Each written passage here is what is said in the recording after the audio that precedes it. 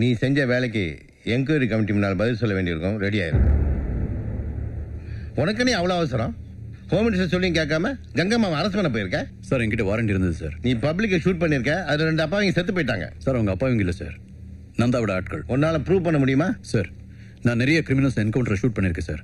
எனக்கு அப்பாவி யாரு கிரிமினல்ஸ் யாரு நல்லா தெரியும் சார். ஏய் சத்தம் போட்டு பேசாத. Sorry sir. நீ காசு வாங்கிட்டு நந்தாவுக்கு வேலை பார்த்தா ஒரு கம்ப்ளைண்ட் இருக்கு.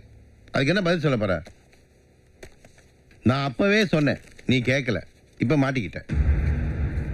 எனக்கு ஒரு சான்ஸ் கொடுங்க சார் ப்ரூவ் பண்ணி காட்டுறேன். நோ சான்ஸ் என்னால எதுவுமே பண்ண முடியாது. இட்ஸ் டூ லேட் கமிட்டியில் கேட்பாங்க. அங்க சொல்லிக்க. முதல்ல இதுல ஒரு கையெழுத்து போடு.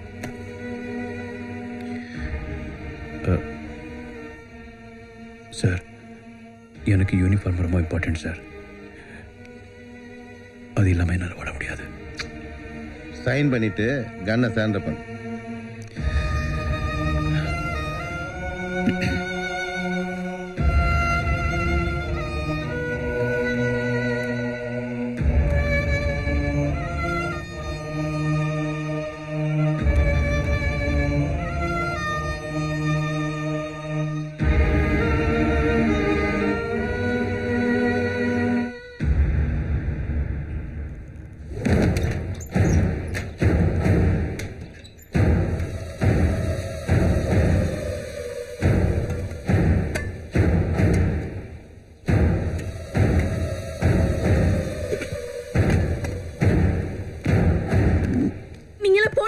தானே?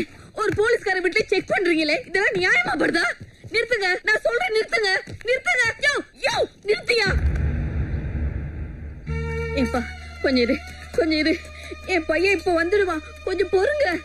சொல்றேன்ல கொஞ்சம் கேளு. இப்ப வந்துடுவான்.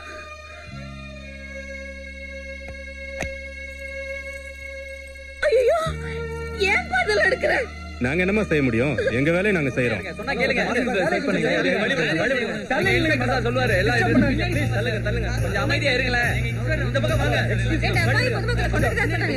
காசிமணி நந்தாக்கு உங்களுக்கு தொடர்பு இருக்காமே அத பத்தி என்ன சொல்றீங்க சார் சொல்லுங்க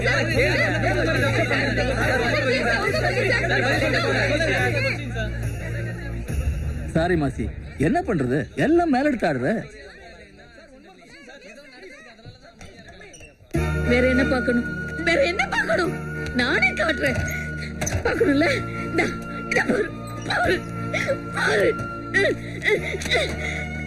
என் பையன் சம்பாரிச்சதெல்லாம் இவ்வளவுதான்.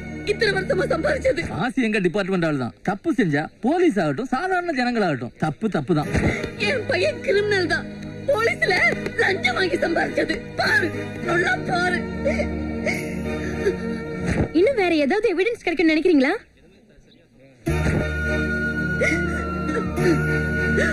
பாருமாசி பாரு. நீ சம்பாரிச்சது சேர்த்து வச்சதெல்லாம் பார்க்க வந்திருக்காங்க. உன்னை யாருமே நம்புறது இல்ல எப்படி எப்படி நடந்துக்கிறாங்க பாரு.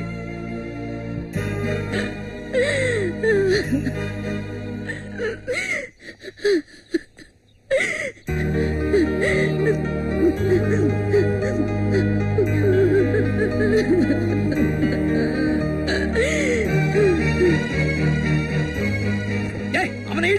ஏய் சார மரியாதையா பேசு. ஏய் சும்மாரா நீ அவனை ஜாலராவா உடம்புல யூனிஃபார்ம் இல்லாம போய். ஏய் நீ என்ன வேணா பண்ணிக்க. அதிகம் பயப்படுற ஆள் நான் கிடையாது. நீ கிளம்புங்க இது, போ.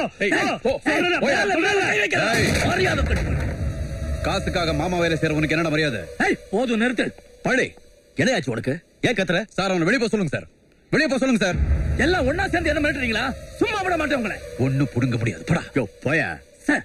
இந்த ஆளு நான் போக மாட்டேன் சார். நான் என் டியூட்டியை தான் செய்யறேன் ஏய் முதல்ல லஞ்சம் வாங்குறத நிறுத்து அதுக்கப்புறம் டியூட்டியை பத்தி பேசு வெக்கமா இல்ல உனக்கு இவனை எங்க இருந்து கூட்டிட்டு போகாம போக மாட்டேன் சார் யோ சீனியர் ஆபீசர் நான் இருக்கல நான் பாத்துக்கிறேன் யோ, கூட்டிட்டு போயா. கிளம்பு. போயா. போங்க வெளிய. போங்க.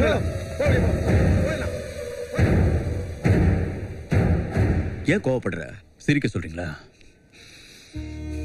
இது வரைக்கும் இந்த டிபார்ட்மெண்ட்டுக்காக என் உயிரை கொடுத்து வேலை செஞ்சிருக்கு சார் ஆனா இன்னைக்கு என்னையும் கிரிமினல் லிஸ்ட்ல சேர்த்துட்டாங்க காட்டுறேன் சார் கிரிமினல் நான் என்னன்னு காட்டுறேன். என்ன சொல்ற நீ?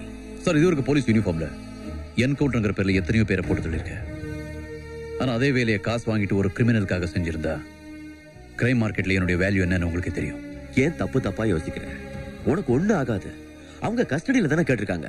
நாம கோர்ட்ல பாத்துக்கலாம். அது வரைக்கும் அது வரைக்கும் கைதி மாதிரி ஜெயில இருக்கணுமா? நான் அரெஸ்ட் பண்ணி உள்ளே தூக்கிப்பட்ட கைதிகளோட நானும் இருக்கணுமா? சார் அப்ப அவங்களுக்கு எனக்கு என்ன சார் வித்தியாசம்? வருத்தப்படாத. நம்ம பவரை யூஸ் பண்ணி என்ன பண்ண முடியுமோ அதை பண்ணலாம். என்ன சார் பவர் இதான் நம்ம பவர் இத்தனை வருஷம் என் சர்வீஸ்க்கு டிபார்ட்மெண்ட் கொடுத்த பரிசு.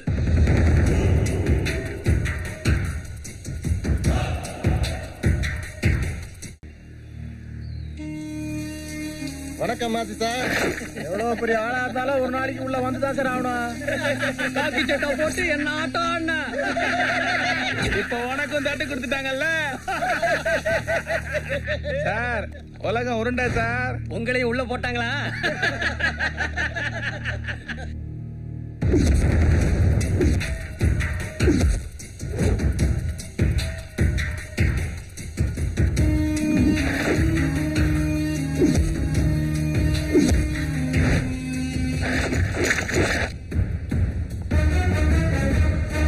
எழுதி வச்சுக்கோ. உன் திமிரு என்னைக்காவது அடங்கும். இந்த நாகாவை பத்தி நீ சரியா தெரிஞ்சுக்கல. என்னைக்கு தெரிஞ்சுக்கிறியோ அன்னைக்கு ரொம்ப வருத்தம். அன்னைக்கு உன் கூட யாருமே இருக்க மாட்டாங்க. நீ போட்டுக்க யூனிஃபார்ம் அது கூட உன்கிட்ட இருக்காது.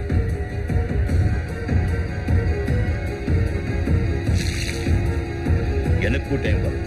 அது வரைக்கும் நான் வெயிட் பண்றேன்.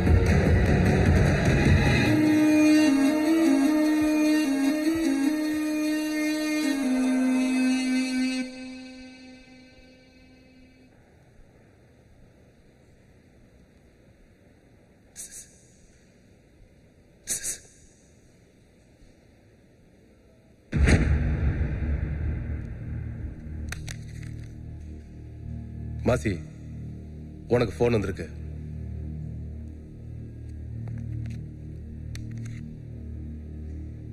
பேசு.